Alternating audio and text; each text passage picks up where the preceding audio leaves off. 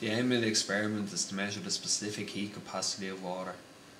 Uh, the apparatus is an electronic balance, a copper calorimeter, a stirrer, insulation, a lid, copper mass, a tongs, a beaker, a mercury thermometer, a kettle and a hot plate. Zero the electronic balance. The mass of the copper calorimeter is 77.3 grams. Add some cold water to the calorimeter.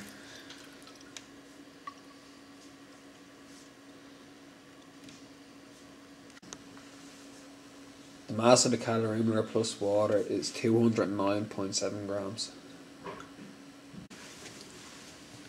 Place the calorimeter and water in the insulation and put in the stirrer.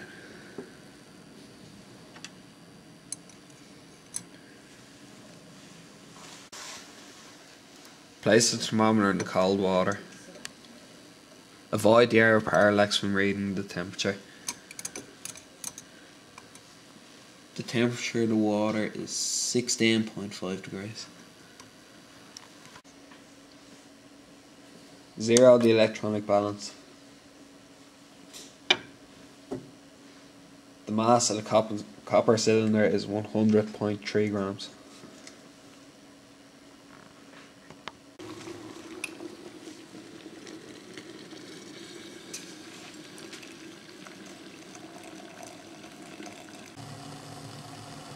Gently place the copper cylinder into the boiling water.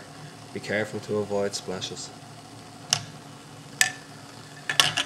Ooh.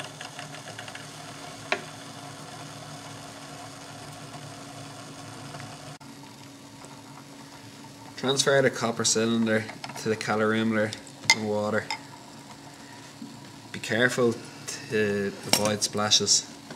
Uh, transfer quickly so as little heat energy as possible is uh, lost.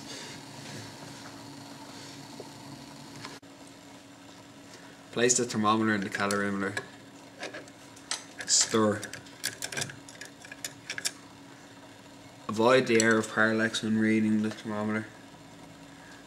The temp the final temperature of the water, calorimeter and copper is 20 degrees.